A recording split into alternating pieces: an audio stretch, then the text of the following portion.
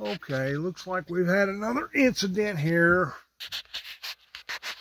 You know, this is what occurs when you have a nation that has basically lost control of itself. And sadly, you have alliances that's basically falling apart here in America. You can see in 2017, um, there was almost 4,000 threats to Congress or to members of Congress. 2018, 5,200. 2019, 6,000, almost 7,000. 2020, 8,600. 2021, 9,600. So what you have here is a consistent pattern of about a thousand more threats per year. That's been that way now for the past five or six years.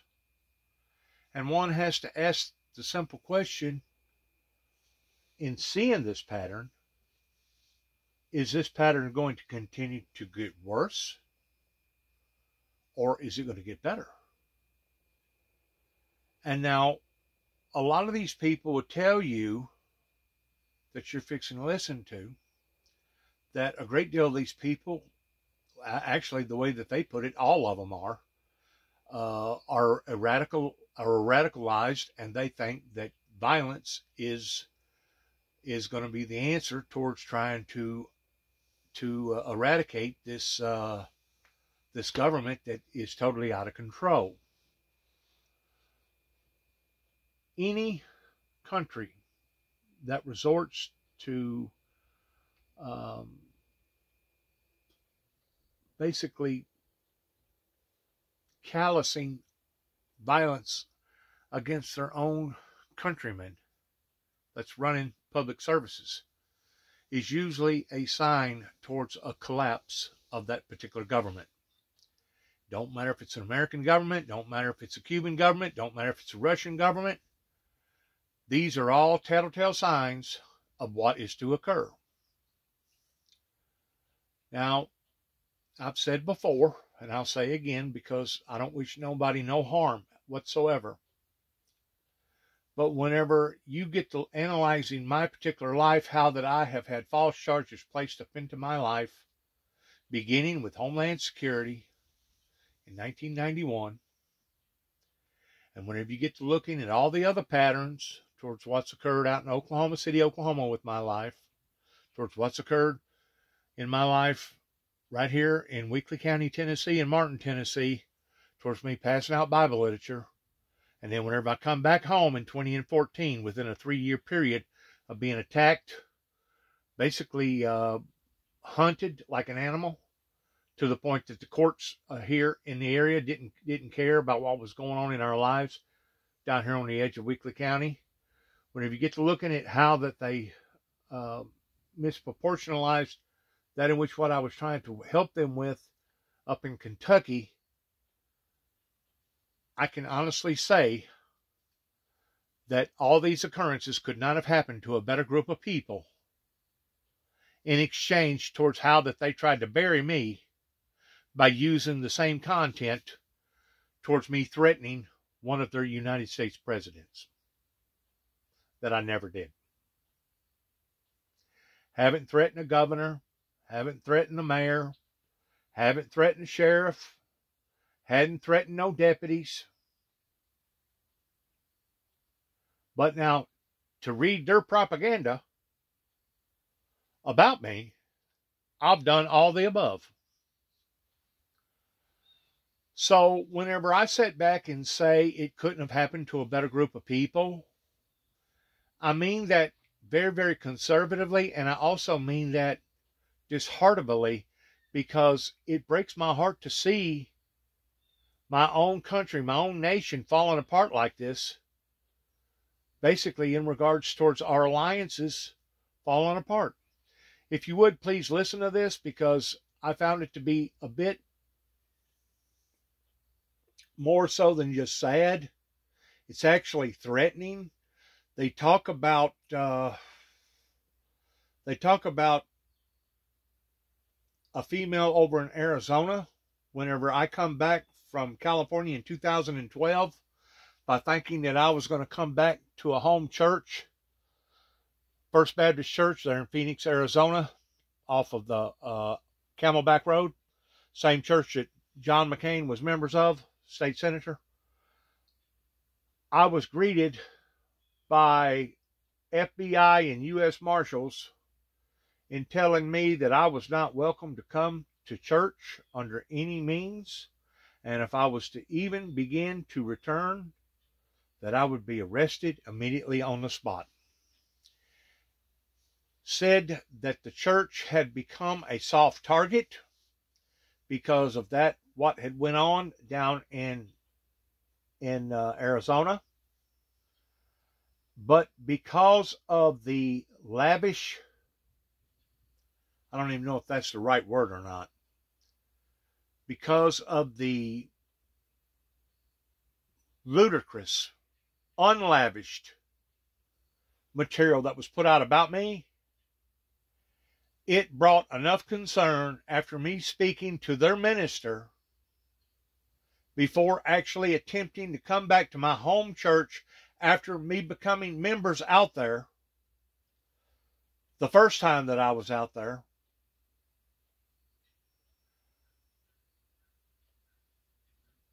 I was told the odds of me being welcomed at my own church was probably going to be slim to none pertaining to the advice coming from the primary minister at that time that told me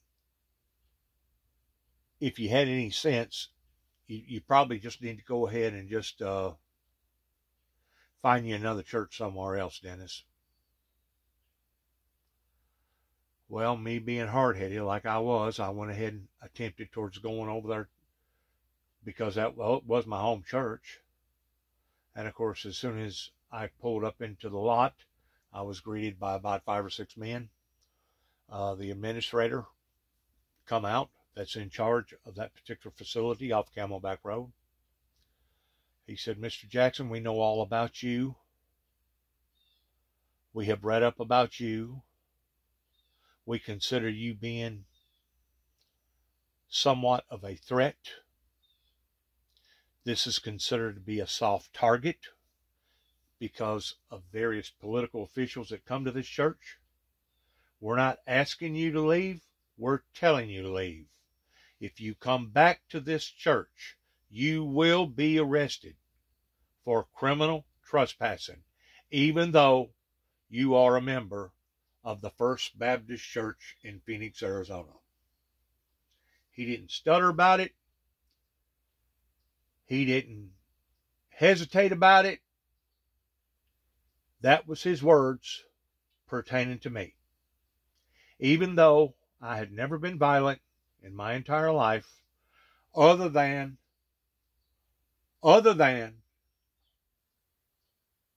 promoting the ideal of becoming violent with a Luciferian Lucifer in a fleshly body that is now walking around over in Saudi Arabia that masterminded 9 11 that basically butchered an American journalist and etc. These are the complications that has befallen up into my life, and I have never ever wished any harm or hurt upon any president, vice president, senator, congressman, any government official, or any subservient official, like a preacher, a teacher, uh, a Sunday school teacher, uh, a fireman, a first responder, an ambulance director, any of the above. Anybody that works social services out in the public I don't go around threatening. I put out warnings. Yes, I believe that every church in the world should be opposed to not only the Antichrist, the spiritual Luciferian Lucifer, but also the physical Luciferian Lucifer. And if you're not opposed to his actions, and if you don't support the same ideology as the Heavenly Father supports towards bringing this evil demonic entity into justice pertaining to the great white throne judgment, I question the authenticity of one's relationship with God. I don't care if you're Joe Osteen, Billy Graham.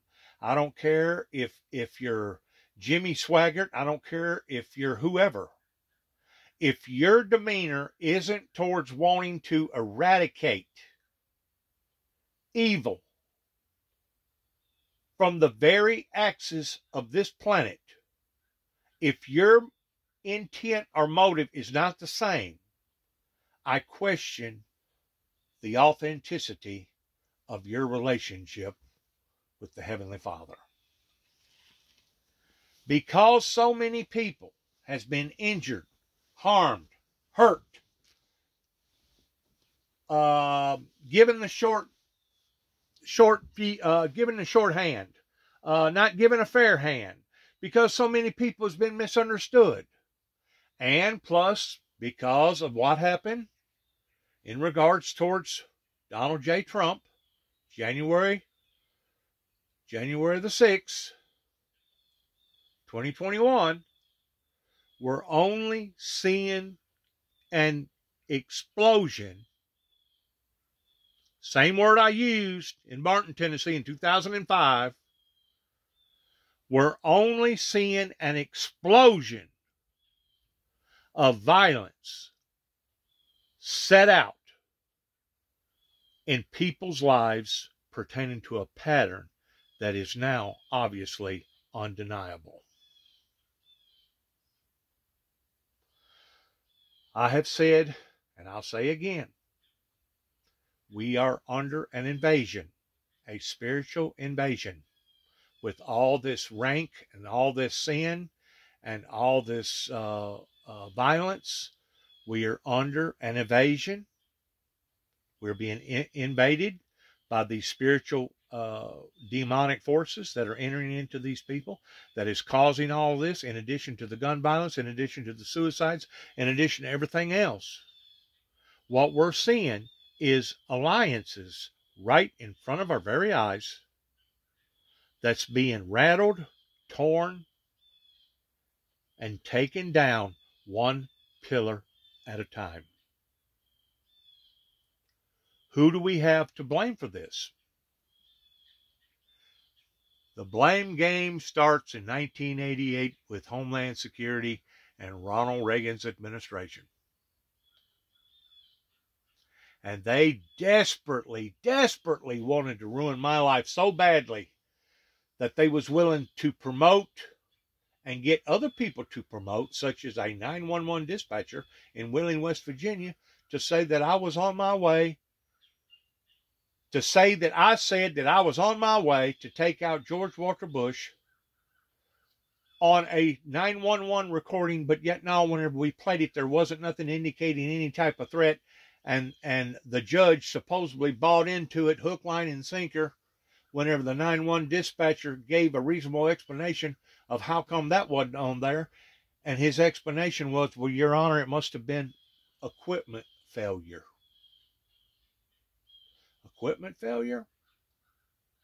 Wasn't that convenient that every other word lined up with the very tape recorder, a mini cassette tape recorder that I had going at the time, towards putting it against the ear of the phone?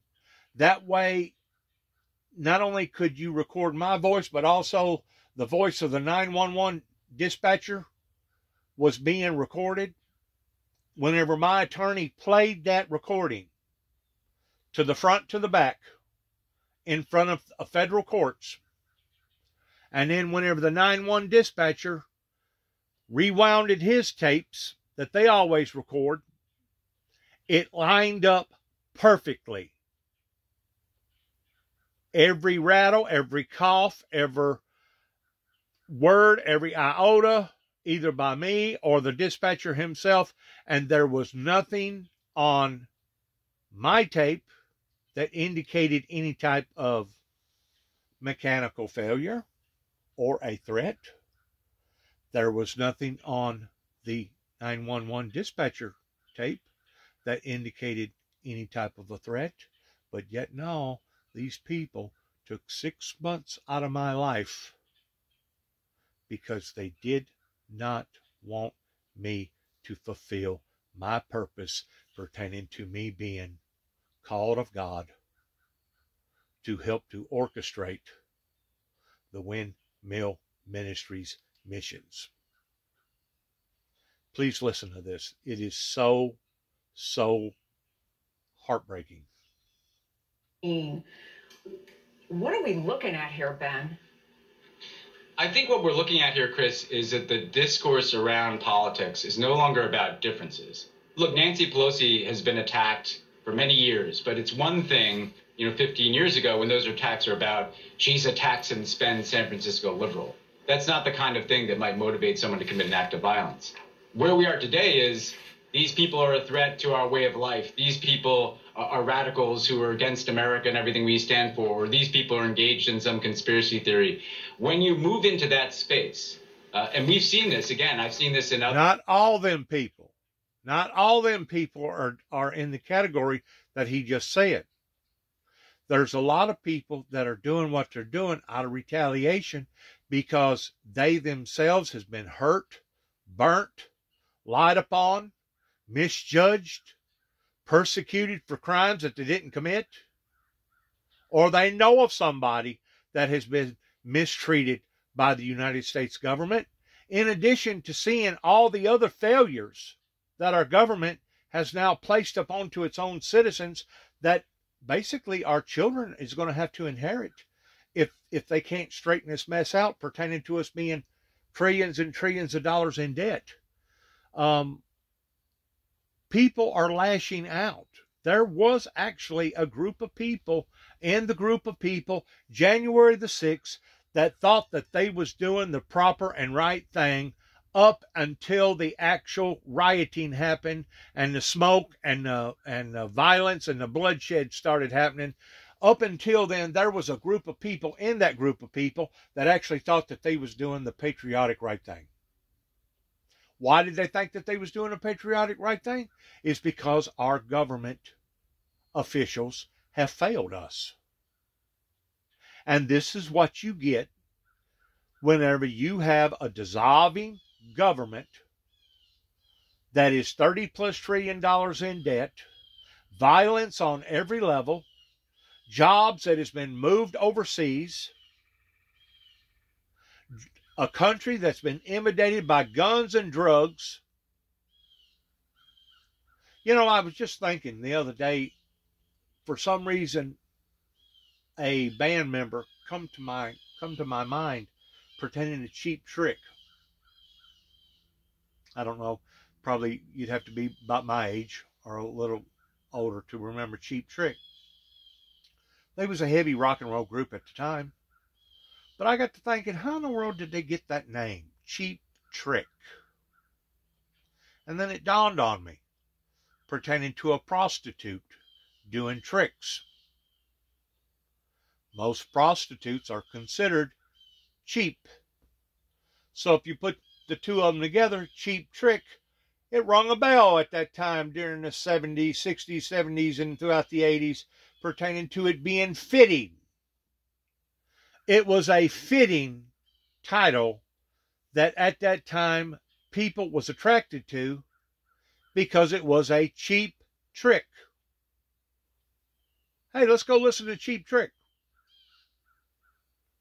And there's lots of names where your rock and roll groups has imitated this country like that that has that has you know like the Grateful Dead or um, Metallica or or uh, Ozzy Osbourne, Pink Floyd, Rolling Stones, Styx, Foreigner.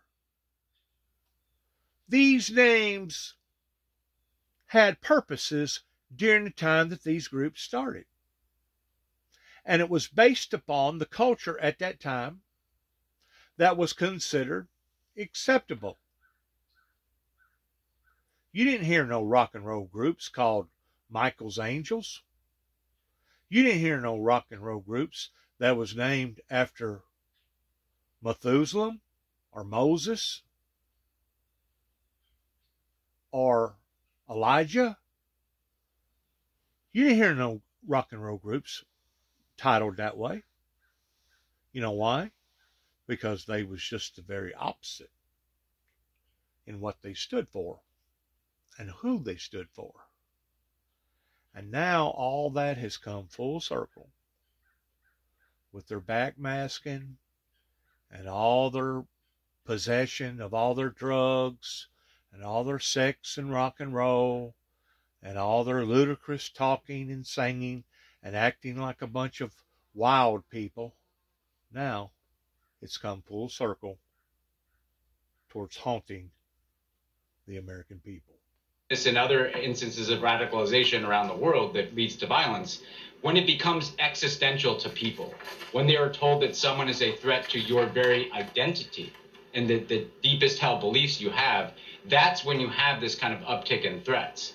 And so you can trace very directly the radicalization of the discourse over the course of the last five years, since around the 2016 election, to where we are today.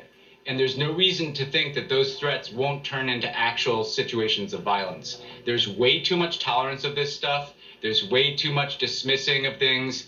Often, what happens is there's a shock when an event like this happens, but two weeks later, people are asked about it and they say, well, that's some nutcase and uh, we're moving on. No, this is not just, uh, obviously, this is an isolated individual, most likely. We'll learn more, obviously, from the press conference as to whether he had any accomplices or, or support. But I think we also have to recognize that the phenomenon that is producing this incident is not going away, and indeed, it's getting worse. And it's it's an environment. It's a sickness. It's just like a cancer. It's spreading. And instead of it getting better, it's getting worse. And we as a society are becoming callous to it to the point that we just kind of flip it off like, oh, well, another one bites the dust. Another one bites the dust. Another one bites the dust. I think that was part of the lyrics of, the, of a song at one time. I don't forgot now what group it was. This is an ongoing, developing, worsening, domesticated, exploding event. I'm going to use that word again explosion. An explosion of violence, an acceleration of violence. Just like in 2005, I used that same word whenever I was handing some Bible material to an individual that worked at a Martin convenience store and told him that there was going to be an explosion of controversy in my life, and in which it was, and that I was liable to wind up on the Channel 6 News, in which I did, pertaining to the event that happened in Oklahoma City, Oklahoma. So all of my predictions from the Mississippi River to a bloody road ahead to electrical disturbances to now leading to where we are today an explosion of violence towards people becoming radicalized. And I know that the media and the government would like to convince everybody in America, well, it's all these nut jobs' fault. They're coming out of the woodwork from everywhere, and, and, and they're just a bunch of idiots and they don't really serve a purpose other than the fact that they're radicalized. Well, you know, that that that would be one good way of, of looking at it, providing that it was true. And it's not true. And the reason why that we know that it's not true because there was a time whenever farmers, everyday people that didn't have nothing to do with guns and violence and didn't have nothing to do with the military had to rise up during the Revolutionary War and basically was forced to have to become radicalized, which I guess if the same bunch of people was operating the situation back then as was today, they'd probably look at them and call them terrorists. They would call the American people that fumigated militia before the military was ever fumigated over here in America, they would call them people terrorists today. And that was not their concept. Their concept was to get out of the rule of a dictator, somebody similar like like uh, uh, poisonous Putin, or even uh, the prime minister of China or whatever, or Cuba or wherever. That was their primary goal was to get out of that type of rule. It was not to become radicalized. It was not to become violent. We're talking about farmers. We're talking about mothers. We're talking about family men. We're talking about people that had probably never picked up a gun to use it other than possibly to gain some sort of food for their family to survive. So, whenever the media or the government continues to keep spewing out that everybody is radicalized and all this stuff is because of a bunch of nut jobs, they need to stop and evaluate the wording that they're saying, and they need to figure out that people like myself has figured out that this is not all about a bunch of nut jobs. Something is going on, has went on, and is still going on in America that obviously a great deal of people are either concerned about or objectionable to, and this is the response. Now, I'll have people that will immediately demonize me because of them hearing what I'm saying, especially those that are associated with law enforcement or associated with any type of state, local, or federal government. They'll immediately peg me towards, oh, that's that guy. Oh, that's that guy. Oh, we already compartmentalized him. He's a nut job. No, I'm a dedicated, loyal Christian that believes in the Bible fully and wholly, and I have put out to the letterhead that the time has come for not only the spiritual Antichrist, but the Luciferian Lucifer pertaining to the fleshly physical homo, homo sapien that is now walking around with two legs, two feet, ten toes, two arms, two hands, and ten fingers, and a head and a body, is now walking around upon to this planet. That the time has come for him to surrender, being a mouthpiece for the Heavenly Father. Not a mouthpiece for me not even a mouthpiece for the Windmill Ministries missions. Because if I was going beyond the call of duty in speaking for my own self or speaking for the ministry's sake, I would be out of tune with the Heavenly Father. What I speak of is of the Heavenly Father towards the doom and the gloom that this Antichrist spirit fumigated thousands plus years ago towards eradicating this radical figure.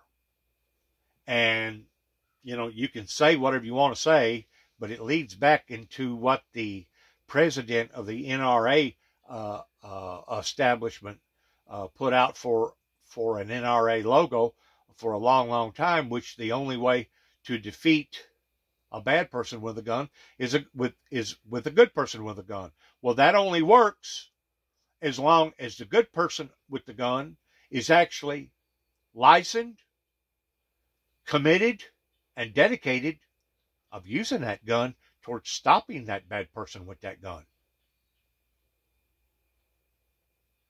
Everybody, the point that I'm trying to make is this everybody cannot be looked upon as being a radical.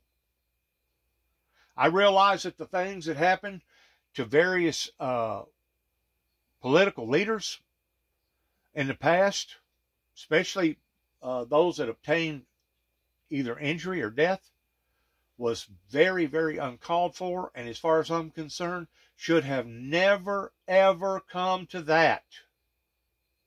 It's one thing to debate one another. It's one thing to disagree to disagree with one another. It's one thing if you want to get into a screaming contest with each other, but you should never promote actual physical violence. But you have to look deeper than just the normalization of all this, and you got to start figuring out what is actually motivating these people how come they're lashing out the way that they're lashing out. And I'm sure a great deal of it's got to do with drugs. I'm sure a great du- du- great deal of it's got to do with fame. I'm sure a great deal of it's probably got to do with sur- surrounding circumstances and and people that's actually a nut job. Probably 80 I'm going to say probably 75 to 80% fits underneath that category. But not all. There are people that engaged in January the 6th that I truly believe that they was they was under their own convictions of doing the right proper thing because they actually felt like the lies that Donald Trump had told them was the truth and that they was going up to the Capitol to try to straighten out a mess and not create one. And I've said this all along, and I'll continue to say this about Donald J. Trump. He had the right ideal towards draining the swamp. He just used the wrong method. He used the wrong method in achieving what he wanted to achieve. If he was going to go that route in becoming radicalized and radicalizing a group of people, it shouldn't have been a half hearted ordeal. The only way to do something like that is to fall in the line towards total violence as far as war towards one group of people over conquering another group of people. His group of people did not go to that extreme towards them going in there with missile launchers and hand grenades and and and actually killing congressmen and and bringing death and destruction to the to the parties of, of the United States government in a violent physical form. They did give the impression of wanting to do that, but because Homeland Security was smart enough and because they uh, deviated from the building and they went down into the into the uh, lower parts of the of the building where where all the uh, tavern or can- canyons or whatever you want to call them underground subway systems are. Uh, they basically uh, eliminated that type of violence that was happening to the actual government officials. Now there was still violence. There was still people that died. There was still people that got injured, people that got gassed, people that got poisoned, people that had stuff thrown on them, people that that that are still to this day going through uh, psychological um, post traumatic stress disorder because of all that. Don't get me wrong, it was bad. It was very, very bad. But as far as the government itself, the officials in the government on January the 6th, as far as I know, did not nobody actually receive even so much as a scrape. It may have affected them psychologically to some degree, but as far as physically, I don't think nobody actually got got uh, brutalized physically in January 6th deal. It's directly tied to the way in which people are living in information systems in this country that radicalize them uh, to to commit acts of violence. It's it's incitement, and incitement leads to what we're seeing here. And when you look at the numbers, I mean, just the sheer numbers, Frank Figliuzzi, um, 435 members of Congress, and we, we're approaching maybe 10,000 threats in a single year. How does law enforcement separate what's real, what's not real? Obviously, you look into everything, but a, a, a misstep, a misjudgment. Hell, not only can they not pinpoint the differences between what's fo- uh, phony and, and, and what could be or what is just absolutely prank in, in regards towards it actually being violence, they actually make up violent suggestions and, and moment, uh, indent, um, indent, uh, in, innuendos on people, such as myself, towards trying to purposely bury them. You got the blind leading the blind here. And whenever you have a organization working for the United States government pertaining to Secret Service that are willing to do people's lives the way that they've done me, and I'm sure that I'm just one out of probably thousands that has had some sort of direct link with the federal government pertaining to Homeland Security Secret Service. I'm sure that I'm just one of thousands that has got bruised, that has got stained, that has got falsely accused, that has gotten um, brutalized or victimized by this particular organization. Now, some of it may have been legitimate. It may have been the only way of shutting these people down. And it may have been that that was the only way that that uh, that the Homeland Security Secret Service could actually fulfill their duties is by going ahead and convincing a judge or whoever that this person was the way that that person was. And they may have deserved to get off of the streets that way. I don't know.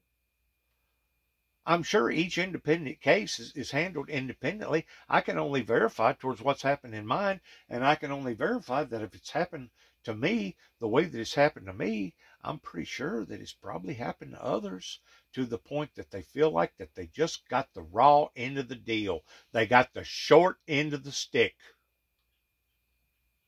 So whenever I say what I say, that it couldn't have happened to a better group of people, I don't mean that I wanted that to happen. Not even close.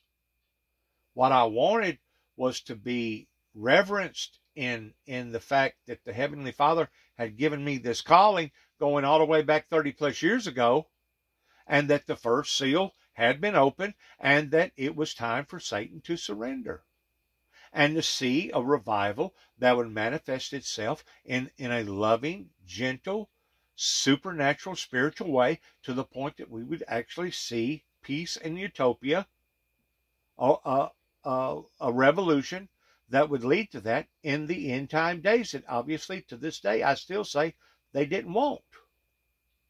They did not want a jubilation type peace. They wanted a fake peace. They wanted a generic peace. They wanted a a uh,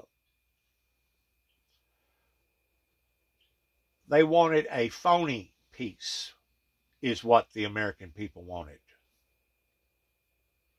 kind of like going to the drugstore and instead of paying a big dollar for your pharmaceutical drugs, we'll get get the uh, get the other kind, get the aftermarket. Kind of like ordering a fender for your car. Instead of getting the genuine fender, maybe you can save $150 by getting an aftermarket fender. That's what the American people has bought into. They rather have something fake and phony. They rather have generic or aftermarket, sweet and low, than they would the true deal. And we have fallen prey to that. And because of that, we're seeing these events only materialize and grow worse. The consequences can be significant. A great point. Uh, one of the very first things that will happen after an incident like this is they'll run the, the subject's name through all the databases, federal, state, local. And I, I've been part of things like that. And, and you just cross your fingers, Chris, that his name is not already known to you and that you missed something. But I have to tell you, in this threat environment that you just laid out with regard to the stats, Everybody is stretched very thinly. We learned in the aftermath of January 6th that the Capitol Police are underfunded and grossly understaffed. And so you do miss things when that happens. And now this extended threat environment well beyond the Washington Beltway, where field offices are open in the in the uh, hometowns of the uh, of the representatives, and there are traveling details increasingly with more and more members of Congress. They simply can't do it all, and there has to be increased partnership with the city police departments, with the FBI, with the Secret Service um, they will tell you they are stretched to the max right now. And when you're talking about the person who is second in line to the presidency, right after the vice president, the Speaker of the House's residence, thought has to be given not only to increasing that security around the residence, but also to expanding more security to high profile members of Congress. So, if we can, let's talk a little bit about Jake what the conversations have been and where you think they're going in terms of Capitol Hill. And I think um, Ben made a really good point, which is, you know, Gabby Giffords, for a lot of folks, that, that brought to mind that. Gabby Giffords was the one that got hit by, by a violent act in Arizona, Tucson. And give or take about three, two or three months in 20 and 12, whenever I come back, to Arizona. I wasn't asked. I was told, stay away from this building, stay away from this church, or you will suffer the consequences on account of it. In other words, they had already prejudged me. They had already condemned me.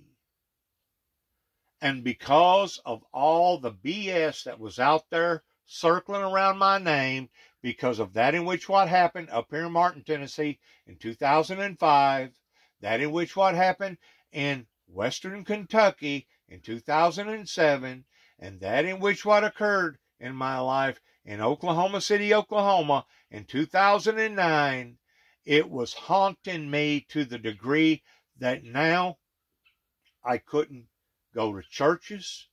It was coming into my workplace.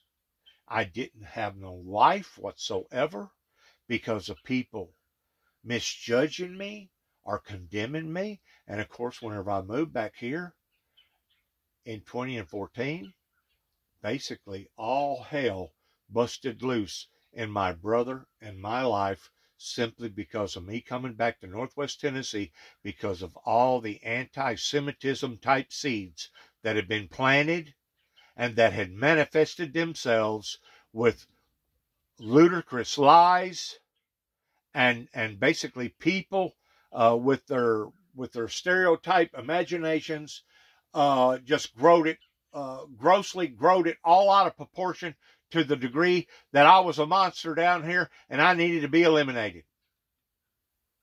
I needed to be run out of town. And they were so stupid and blind the ones that took part in all this, didn't understand or realize that they was the ones that was violating me, not my brother and I violating in them. Every incident that occurred happened on this corner. And still to this day, other than me driving down the road down there in Obion, down there by Alamo Baptist Church, and an idiot decided to, uh, his sons decided to either shoot at me or he decided to run me down. And uh, I thought he was going to get violent with me. I really did, but hopefully he didn't.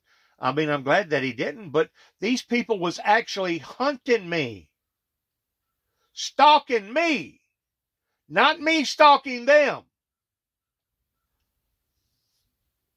But to give you an insight towards the powers of Satan coming down in great wrath, these people, I guess, convinced uh, the judges and the courts up here in Dresden, Tennessee, that it was my brother and I that was instigating all this, even though all the cases was happening in which my attorney, uh, I don't I've forgotten his name, there in Martin, Tennessee, younger or, or, or yeah, younger that we had hired, he'd already done brought it up to the judge, Your Honor. All these incidences are happening at either 430 Beech Grove Road or 291 Thompson Road. It didn't dawn on them. They could have cared less. They was being influenced by the lies and the deceit and the garbage that was coming out of their minds and coming out of their hearts. So the prosecuting attorney, Tommy Thomas, Mike Wilson, Tommy Moore, Judge Pence, and all these local townsmen around here, it couldn't have happened to a better group of people towards their system now collapsing right in front of their very eyes. They have brought this shame and indignation and condemnation upon to themselves and upon to their children and their children's children. They didn't want to listen to what the messenger had to say 30 plus years ago. It was much simpler to look at the glass towards it being half empty versus half full. They was more concerned in the prophecy where it says that they shall kill one another than they was concerned towards taking peace from the earth. They took things out of perspective. And because of it, it has put us where we are today. But that was while she was doing constituent services. They were she was out in a parking lot. I think about Steve Scalise. I covered that story as well. He was Let's go forward here. Let's try to get with this. See what this see where this is all going to go. A lot of back talk.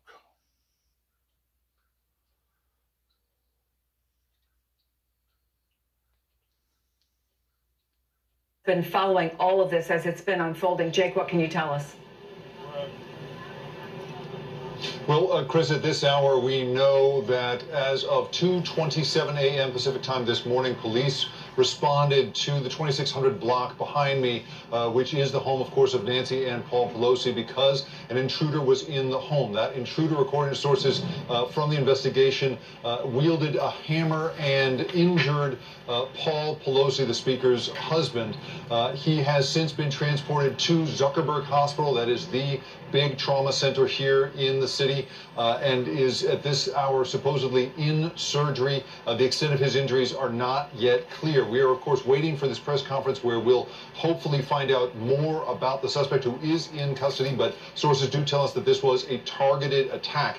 We have also been seeing agents not just of the San Francisco Police Department, but also of the Capitol Police and of the Federal Bureau of Investigation going in and out of the home here. Uh, so there seems to be certainly a, a multi-agency presence here uh, looking into this. But again, we are not sure the extent of Paul Pelosi's injuries. All we know is that the attacker is in custody and that this was a targeted attack against the Speaker of the House, Chris. Jake Ward, I know you'll continue to update us as you see activity there. Let me bring in Ben Collins, who is. Like I said, you can categorize everybody if you want to, like they are, towards being nut jobs or extremists but something is happening in a country of unappropriateness that their citizens is starting to observe and look at that ever even began to create or manifest something on the level of January 6th to begin with, in addition to the patterns of all this violence.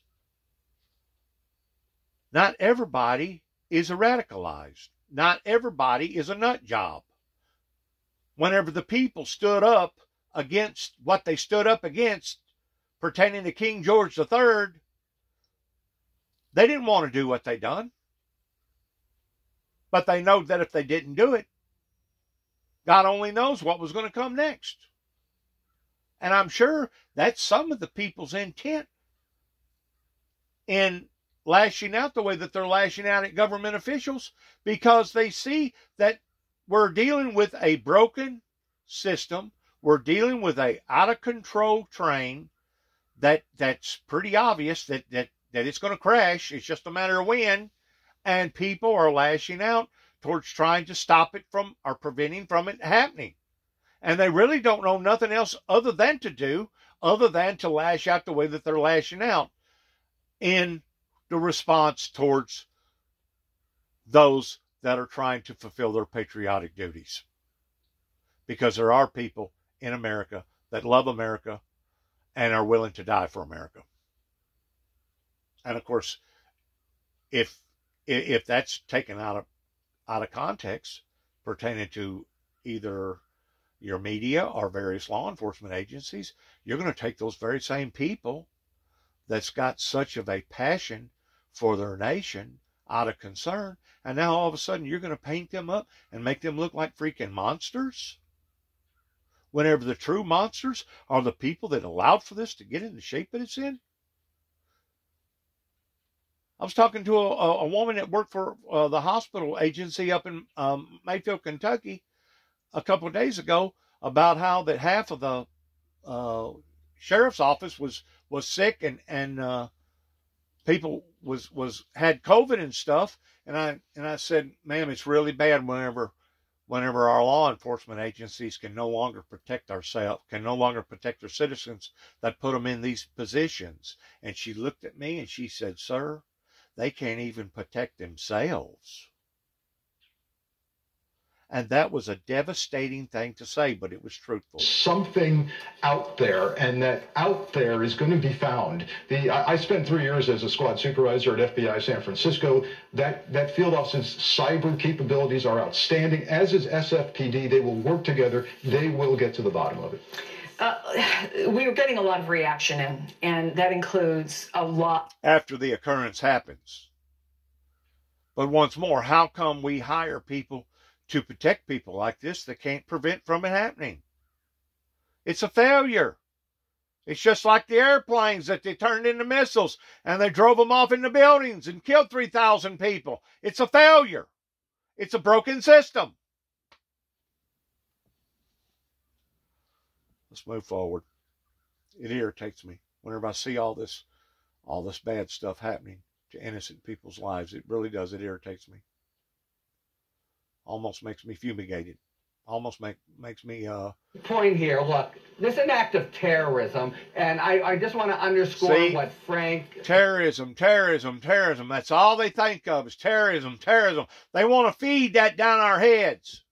They want to brainwash us and making them making us feel like that we are the terrorists, that we are the monsters because we care about our children and our and our and our children's children and we care about their future and we care about our country and we care about our broken roads and we care about our dilapidated bridges and we care about our all the drugs and, and the illegals coming over to our country. They want to continue to treat us like we're all terrorism.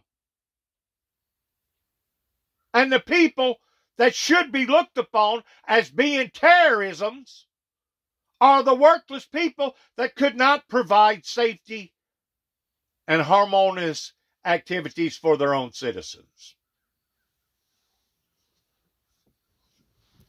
And they just continue to keep pushing it and keep pushing it and keep pushing it. And the people keep eating it up more and more every day. There's no doubt what happened January the 6th was wrong. It was an embarrassment to this country. But it was an embarrassment to this country that it was ever pushed to the to the degree that it ever had to take place to begin with. We're not dealing with third world country. We're dealing with a civilized country. We're dealing with a country that had done already went through its civil war, that had already done established its its uh, laws and bylaws and its policymakers and its stuff. So what actually motivated January the 6th? Was it really just Donald J. Trump and him alone towards spewing out all this information? Or was it a, a combination of both? Let's listen to what this gentleman here has got to say here. They're going to speak on, on behalf of what, what they're talking about here. I don't have a clue what, what they're going to say. I just, you know, I just want to look at all the truth and not just part of the truth. I want to put all the dots together and not just part of the dots together. I know how law enforcement and I know how the government and I know how the media would like to portray everybody as being monsters. I'm very aware of that. But what we have to be smart enough to figure out what is motivating people towards them coming out of the woodwork like this. Because not everybody is a freaking freak. Not everybody is possessed by the devil. There has to be something else, some underlying issues that we're not looking at that is actually motivating people towards them getting this way, other than them being monsters. Could it be because our our our law enforcement and our government officials has let us down? Has anybody ever thought that through? Could it be that they know that this country has been basically uh, handed over uh, to to basically uh, a, house that has been left desolate? The blind leading the blind that has led us to this very, very despairable uh, place and time of where we're at right now? Let's listen. Um, it's a difficult conversation when it enters into our political discourse. Let's listen in to the press conference. Mics are filled.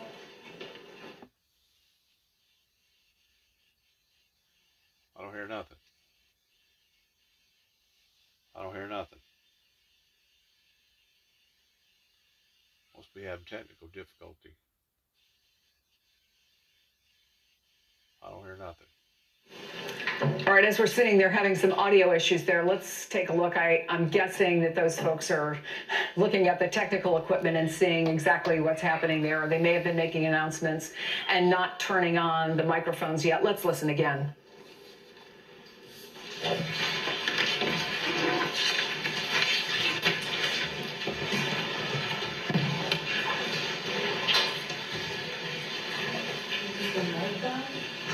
Okay. Rob, can, can we close that door so we don't get the noise?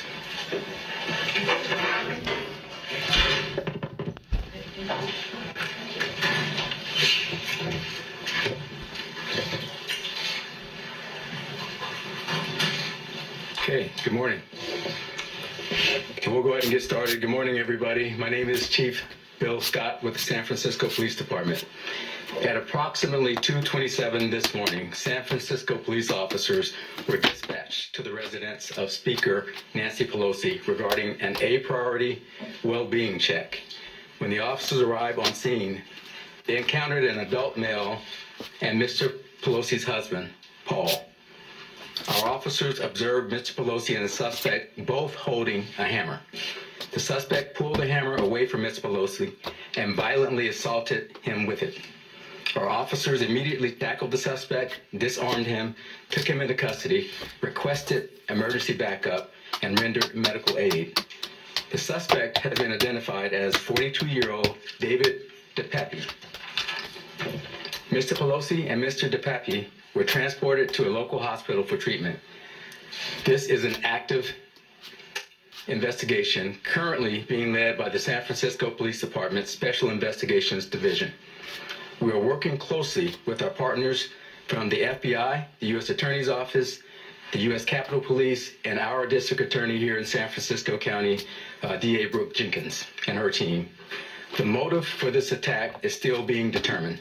Mr. DePape will be booked at the San Francisco County Jail on the following charges attempted homicide, assault with a deadly weapon, elder abuse, burglary, and several, several other additional felonies. Before I go any further, I'd like to thank the responding officers for their swift action this morning. Those San Francisco police officers are Officer Colby Wilmes, Officer Kyle Cagney, and Sergeant Edmund Hoang. I'd also like to thank our emergency dispatcher, Heather Grimes, who's standing here to my left, for a really amazing job. For inquiries regarding Mr. Pelosi and his condition, we refer you to the statement issued by Speaker Pelosi's office this morning. And with that, I'm going to turn it over to our district attorney, Brooke Jenkins, for a few brief comments. And I, let me say in advance, this is what we know at this time. We will update you further, but we will not be able to take any questions after this statement. Thank you, Chief Scott. And I do want to commend the San Francisco Police Department for their immediate response um, to this home and for um, swiftly making sure that Mr. Pelosi was okay and that the suspect was apprehended. Um, we are working closely with them right now with respect to the investigation and will proceed with the appropriate charges um, as things unfold, as long as as well as work with the U.S. Attorney's Office and our federal partners. Thank you. All right.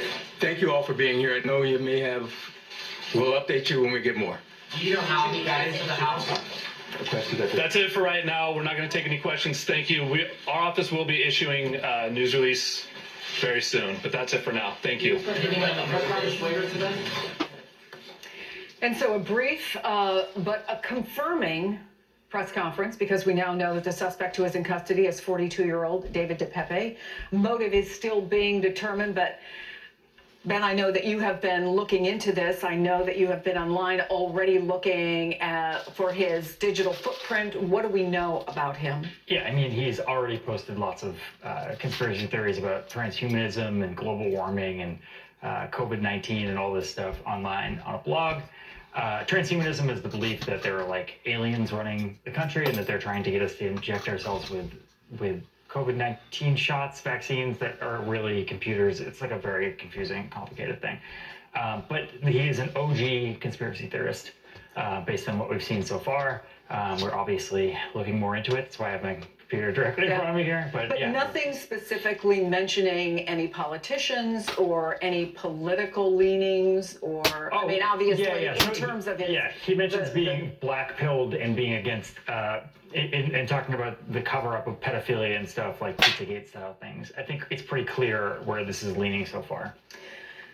Okay, well, uh, obviously, we also got a list, Frank, of possible charges here. Um, so far, they're talking about attempted homicide, assault with a deadly, a deadly weapon, elder abuse. It sounds like they have a pretty clear idea of where this is going. So we do for now, and I applaud SFPD for getting out quickly. So so many times we, we're seeking more information, and they, they got out what they could get out quickly, and kudos to them. However, conspicuous by their absence was federal officials, the U.S. attorney or, or an FBI official. And I, I'm not sure what to read into that, except we've already heard reporting locally, right, that the FBI is in and out of the residence. So they're clearly working this. It's just too early for them to conclusively say, this is ours. And clearly we heard the uh, SFPD official saying, right now it's theirs. It's it's SFPD, and that's that's okay. They're they're on top of it. They apparently need to learn much more. Ben's already laid out what's available here, but also don't be surprised in this for context for context here, and then having worked. And I want to verify also that what I said a while ago covered the analogy of about 85% of the people that does do violent harm to various people are people that basically are out of touch with reality.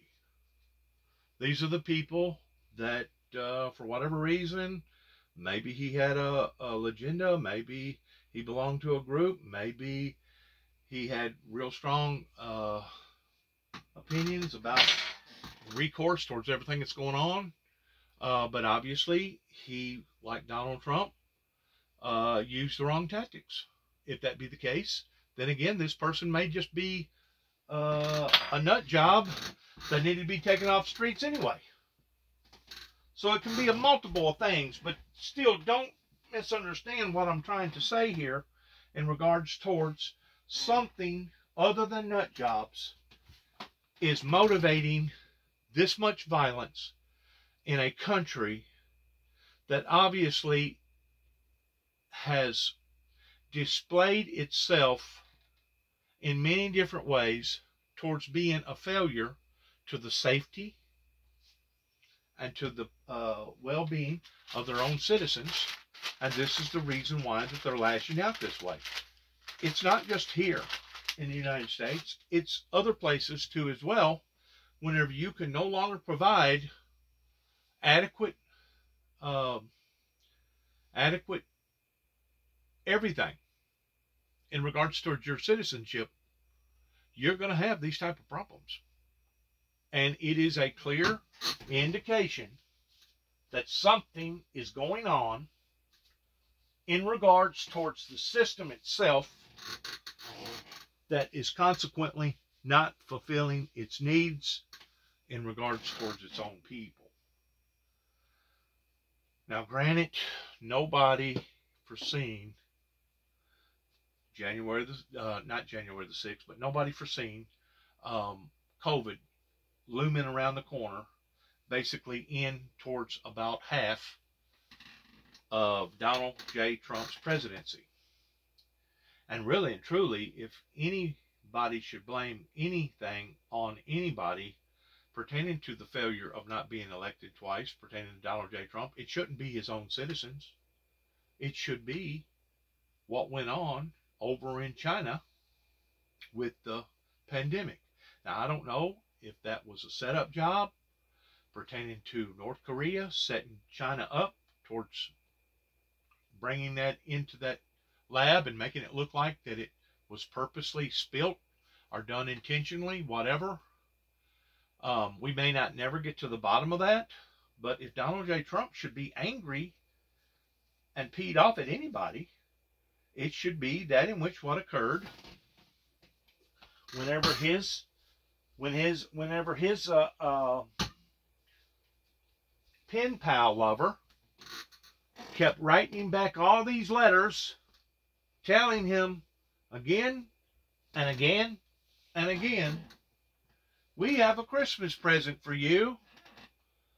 Be expecting it. Well, we see what the Christmas present was.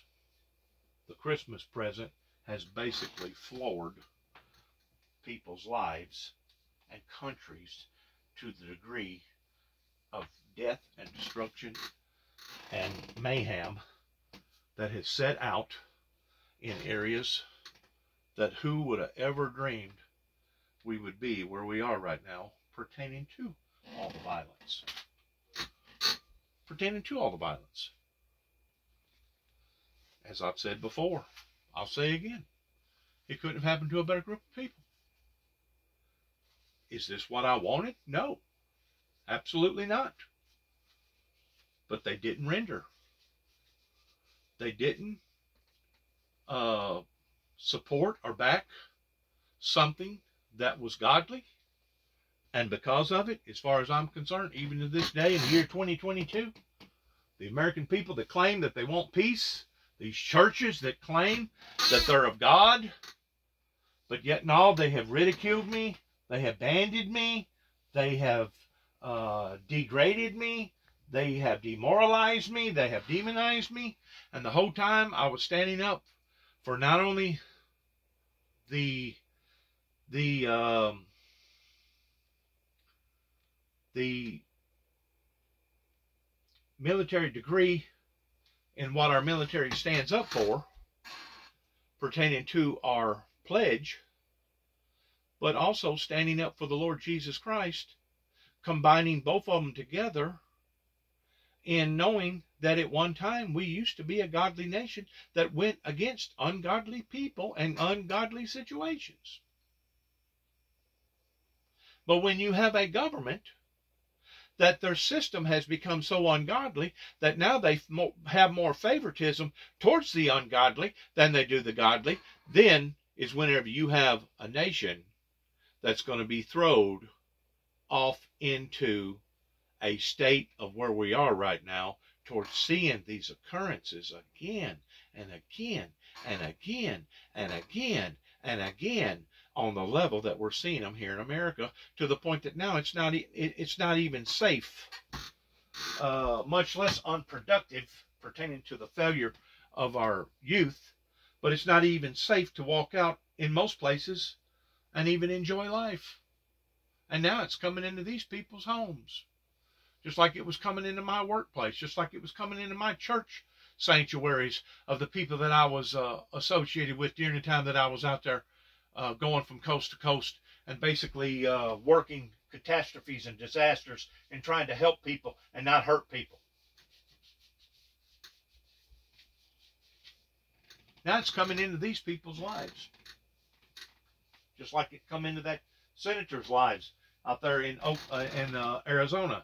Just like it's uh, come into other people's lives whenever that shooter was out, I guess, out by the White House and, and shot up a bunch of people. Just like whenever other types of violent activities has been going on, uh, including January the 6th. So you have to start asking yourself the simple question Is this all about madness? Is this all about mental health pertaining to a sickness? Or could this actually be the results of what took place that shouldn't have never taken place in regards towards our United States government and Homeland Security?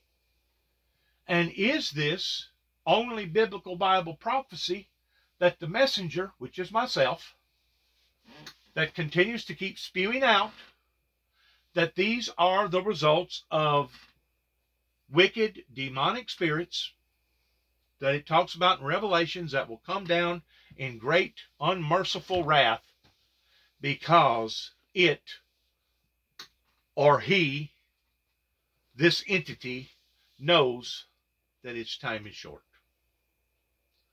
So for those that get a hold of this material, I'll let them be the judge. You know, I know I know what's happened in my particular life, and I know that if it's happened in my life, pertaining to being falsely accused, pertaining to basically a uh, a society that that that uh, turned its back on one of its leaders, on one of its uh, messengers. Uh, I know what's going on. Now, whether or not you want to believe that I know what's going on, well, that's up to you. But I know exactly what's going on because God has shown me what's going on. Just like whenever Jesus was dealing with the people that he was dealing with, he knew, he knew who to trust. He knew that uh, that uh, basically uh, um, Lazarus was going to betray him. He knew that certain people was going to was going to render to the things that he was doing and saying, but there was others that was going to just let it nonchalantly go off their back like a duck, and eventually was going to turn on their very person that they claimed that they loved or supported or back to begin with. Isn't it amazing how the demonic spirits can get in people and they'll basically turn on you like turn it like a like a dog turning on its master?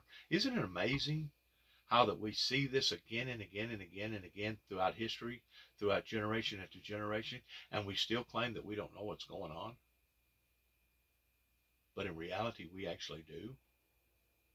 This is spiritual warfare. No ifs, ands, buts about it. Just like being inundated with all the illegal people that's coming over here. It's not just being inundated. It's not just being consumed it's not just being uh, an invasion, a physical invasion pertaining to human physical bodies.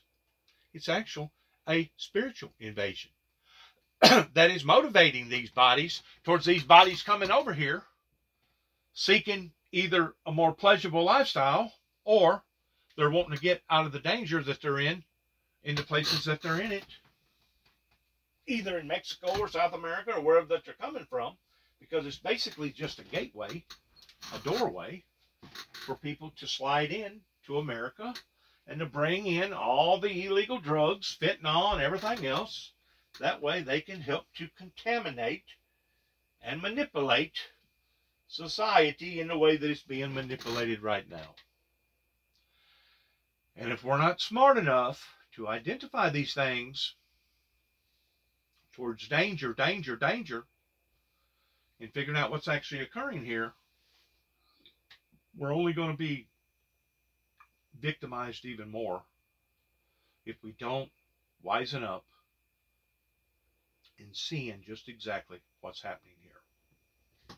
Like I said, probably 85% of the people that's engaged in this type of violence are whack jobs. Whatever that they're doing it for, maybe their lives is in shambles, maybe they're doing it for fame, Maybe they're doing it because they have a personal grudge or vendetta. Maybe they're doing it because they're trying to make a statement. Maybe they're doing it just because they're out of their freaking minds. Maybe they need to be chemically seduced in, in a in a padded cell somewhere in, in a mental institution to the point of them never knowing daylight from dark and never escaping out of out of the surroundings that they basically allowed for Satan to uh, captivate them with. I don't know, but I do know this: it's not a hundred percent foolproof in stating the fact that everybody is terrorist and that everybody is a whack job. Because some of these people that are lashing out the way that they're lashing out, they're doing it because they are fearful of their country, they are fearful for their future. They are fearful for their children's future. They are fearful that this country has obviously taken the wrong step in the wrong direction. And they done a survey with this. About 72% of the people actually believes the very same thing that I'm talking about right here. That about 70 plus percent believes that we are heading in the wrong direction, in the direction that we're heading, either as a nation are as a global society. So you have to ask yourself the question after listening to some of the remarks that I've made today on this particular event. You have to ask yourself the question Is it possible that what this individual continues to keep harping about, is it possible that this individual is actually the very one that's in contact with the reality while everybody else is out of contact with reality.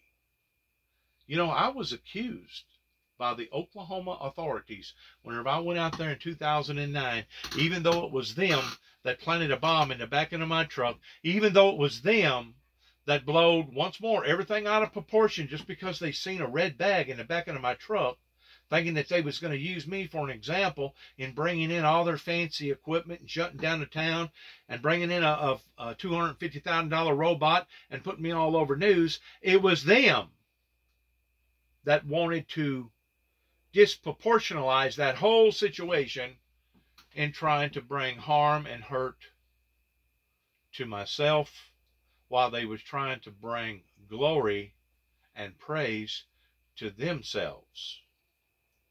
It was them that promoted this. They had no justifiable reason for wanting to plant a bomb in the back end of my truck and blow the back end of my truck up out in Oklahoma City, Oklahoma in 2009.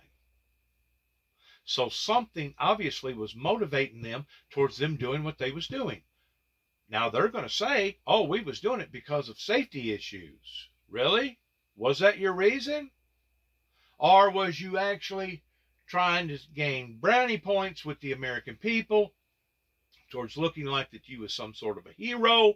It's kind of like the guy that was catching the building on fire that worked for the fire department. And then once the call nine come in towards going and putting out the fire, then all of a sudden he looked like he was a hero because he put out the very fire that he built and created himself.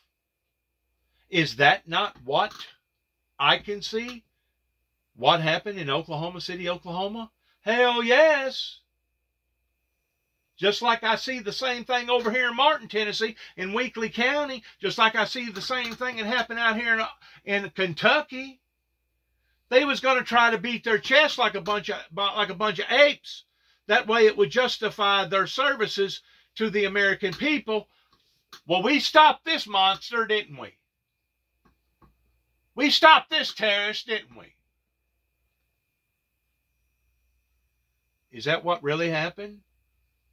Or was it the authorities that was creating this monster that was trying to create a terrorist? And because of it, it actually puts them in the category towards being terrorist. It puts them in the category of being the monsters.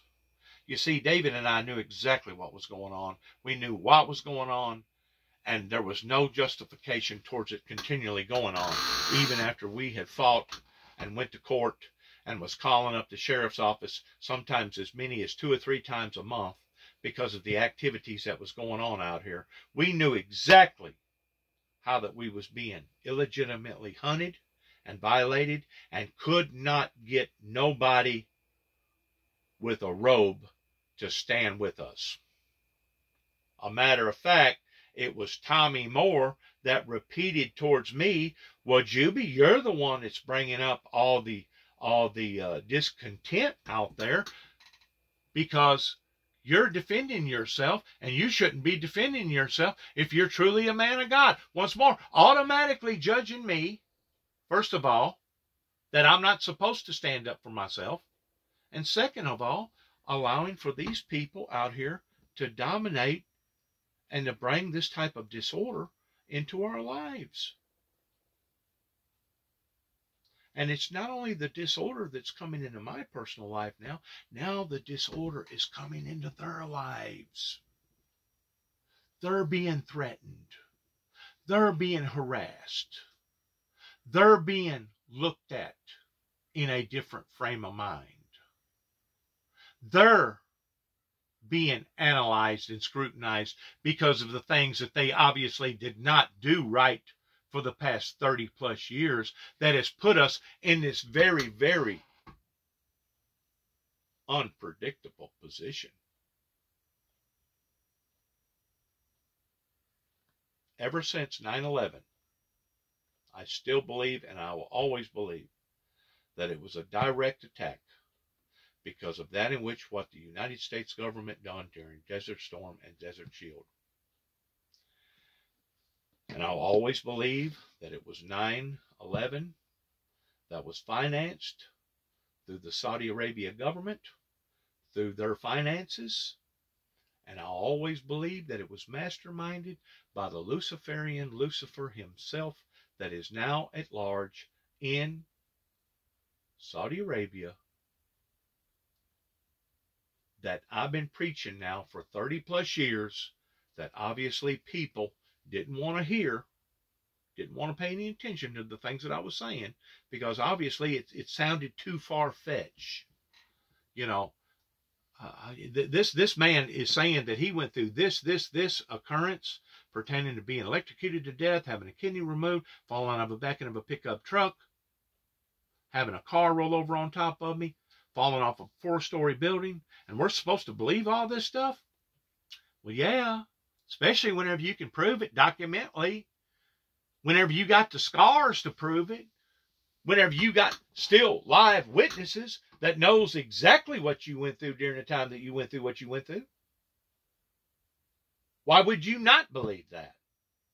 And then they lean towards other factors. Well, he wants us to believe that two hands come out of heaven, that the Spirit of God basically intervened in that man's life whenever metal and and and uh, um, other types of man-made materials should have crushed him or cut him completely in half. Yeah. Once more, I've got proof to prove it towards losing nine units of blood and having to have my spleen removed. Yeah, it's been documented. Well, this individual wants us to believe that the angels of God come down out of heaven and planted a spiritual crown of thorns up on top of his head, representing the first seal being open, and that he has already done met in these Saudi Arabian uh, profiles over in Martin, Tennessee in 1988, and believes that possibly one day he'll meet him again in face to face in the Doomsday Devil's Duel. Yeah, now you're getting it. The message hadn't changed. The desire, the seed of, of uh, redemption for mankind through the blood of Jesus Christ has not changed pertaining to the message coming from the messenger. Hadn't changed. Not one iota. The only thing that has changed is that I've went through delay after delay after delay. Uh, the ministry has basically had to go through hula hoops and somersaults because of all the movement coming from the demonic forces. And they have uh, basically hindered, I guess would be the right word. They have hindered the will of God. And because they have hindered the will of God, they're now paying the circumstances and the consequences on account of it. And not only is violent activity happening with now their agencies, and I do mean agencies, but now their own nieces, their own nephews, their own aunts and uncles are not only becoming uh, alcoholics, but now they're becoming addicted to drugs, and now they're having children, and those children are being born deformed, or they've got uh, strong, strong um, mental disorders of challenges that they're having to, to work around. Uh, these children are, are just outlandish towards towards the way that they behave and how that they do things because they've never truly had no true love and, and no true fatherhood or motherhood in behind them for the most part. And the things that the Woodstock 50s and 60s era was a part of has now come upon all of us to the degree that now we are seeing the true tale in behind the tale of where we actually are. People wonder, well, how come you got a dragon in both of your automobiles sitting either in or on the dash?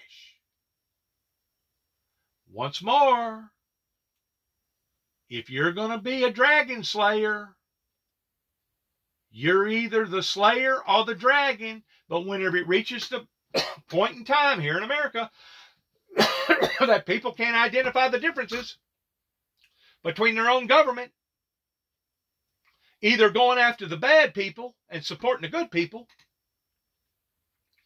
or trying to reassess what has went on in the past 30 plus years to the degree of knowing that they have messed up and using different tactics and different systems to be able to attack what's happening here in this spiritual warfare.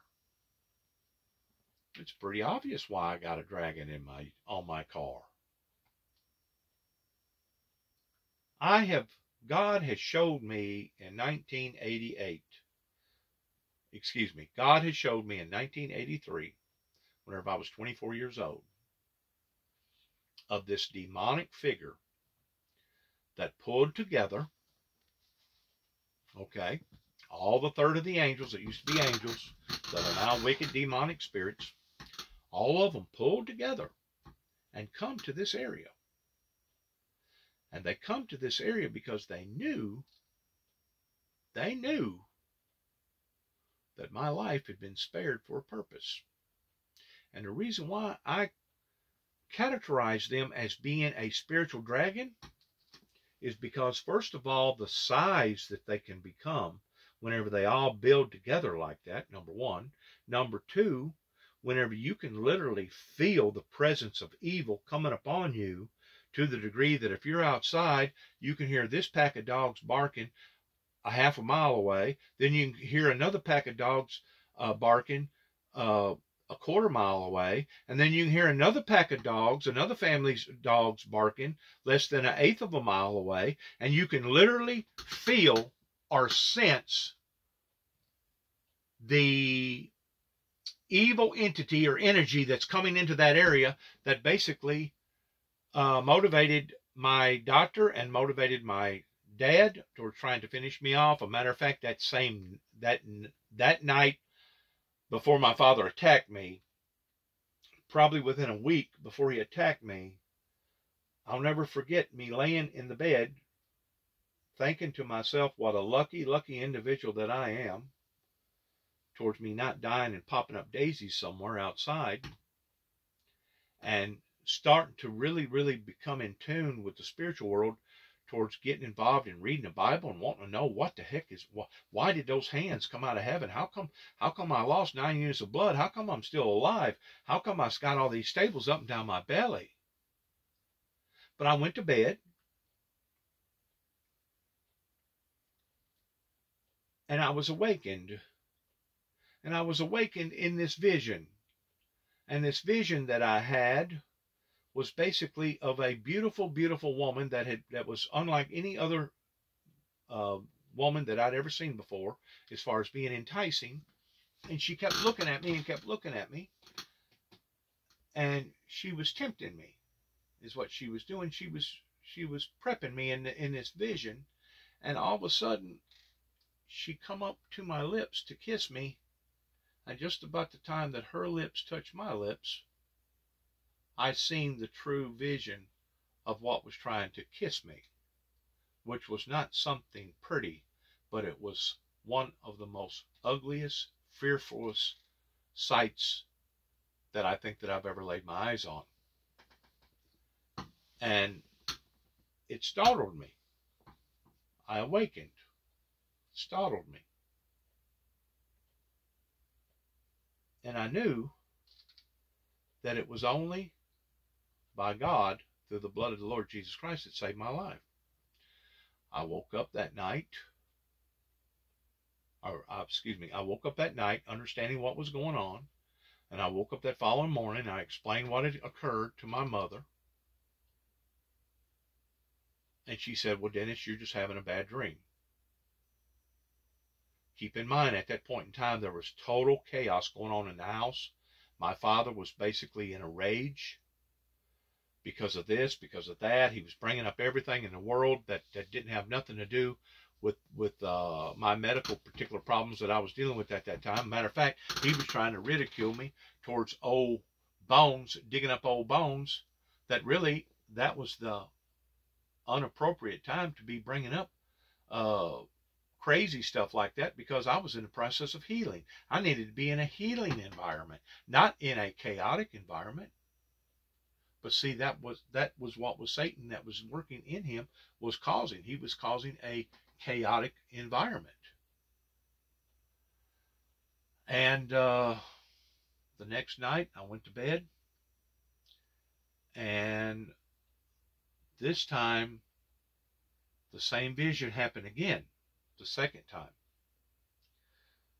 it come in the sense of the same way of a beautiful, beautiful girl that once more I got tricked into falling for her um, for her attractiveness in this vision. But this time, whenever I fell for the same thing, it grabbed me. It grabbed me to the point that I could not breathe. I could not lift up neither arm. I could not move my head. I could not even so much as blink an eye. And the only thing that I could do at that point in time, because I was actually under this subjective, evil, demonic, wicked, uh, spell at this particular point in time, the only thing that I could do within my mind is start pleading the blood of Jesus. Satan, get thee behind me. Satan, get thee behind me. Jesus, Give me the strength. Satan, get thee behind me. Satan, get thee behind me.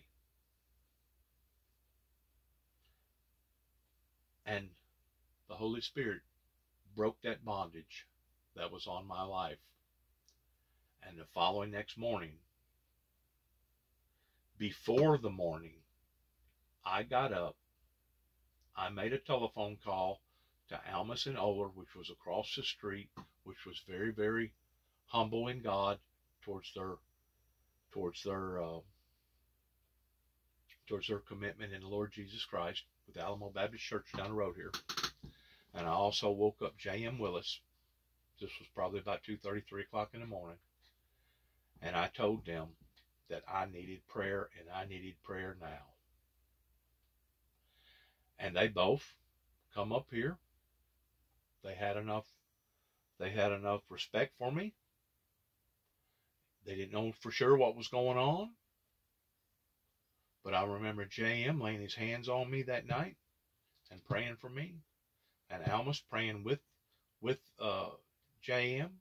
Of course, my dad was freaked totally out whenever they come knocking on the door at two thirty, three o'clock in the morning. And they had no idea that I'd already contacted the neighbors. Well, see, that was one of the driving points that helped to agitate my biological father in the degree that about a week and a half to two weeks after that occurred, towards him actually physically attacking me. He's seen me uh, going beyond the perimeters of of where I should have went towards calling neighbors to the attention of these demonic spirits that was entering into this house that was trying to basically uh, inundate me. And of course, I knew to cry out to God ever since I was a young lad, ever since I knew that the things that was going on in the household was just basically evil, the violence, the uh, the warfare that was going on. Matter of fact, David, uh, uh, whenever I come back here, uh, one of his one of his stances was, "Juby, we're just like we're just like the uh, the survivors of the Holocaust. We made it through this. And I said, Yes, David, we have. Because it was that tormentive. It was that uh, drama, uh, going through that kind of trauma. It was that traumatizing in our lives, in all of our lives. But I knew that this Luciferian Lucifer that had come to me, and this was the third time. The first, the first uh, vision or dream was whenever I was standing in front of the Antichrist, and he was wearing all purple, and he had this bow that looked just identical to my brother's bow, and he shot off an arrow, and I basically disappeared because, like, like I said, I was really doing a lot of searching, reading the Bible, praying, trying to figure out, my God, why has my life been spared? And that's whenever the seed come into my heart towards me going to be the one to meet the Antichrist. Well, after that seed come towards me going to meet the Antichrist, that's whenever I was attacked about a week later with this evil demonic spirit that come in the form of a good looking woman that was very attractive at first. And then about a week and a half later was whenever my father attacked me towards trying to finish me off. In the meantime, the very doctor that saved my life was from India, that his people had already spent over a million dollars on his education, basically decided to take his own life. And I, to this day, feel like that he was being punished because of trying to do something good for one of his patients that the evil demonic society punished him towards because my life in 1983, according to the Luciferian Lucifer, was supposed to have ended. There wasn't supposed to be no hands come out of heaven. There wasn't supposed to be no moderation towards being operated on and, and having my spleen patched back up or removed. And I was not supposed to have survived the 1983 ordeal. A matter of fact, it was so intense that my son was attacked by him being on a bicycle, being hit by a, a uh, him being a pedestrian, being hit on a bicycle that uh, basically uh, almost ended his life. And later on that fall, my cousin, uh, his wife, her two children, and Maxie, his two children, one of them children died. The other one received third or fourth degree burns and had to stay in the victim burnt sick uh, in Houston, Texas, for about a year, and the and the wife and the two other children died in the fire over in Union City in a hotel fire. So in 1983, was our family under attack? You daggum right. They was under attack.